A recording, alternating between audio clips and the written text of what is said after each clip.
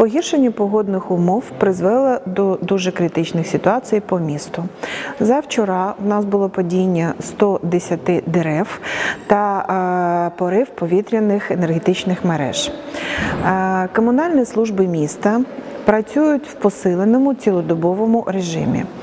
На сьогоднішній день ліквідовано 80 наслідків, які спричинені е, посиленням шквального вітру. ДТЕК Одеські електромережі ліквідували аварійну ситуацію на мережах. До кінця цієї доби ми приберемо всі залишки дерев, які були зруйновані та повалені. На жаль, на сьогодні знову очікується посилення вітру. Шквальний вітер буде досягати 20-25 метрів на секунду. Тому звертаюсь до наших містян при посиленні шквального вітру. Прошу вас е, не залишати свої автівки під деревами та не знаходитись на е, відкритому повітрі.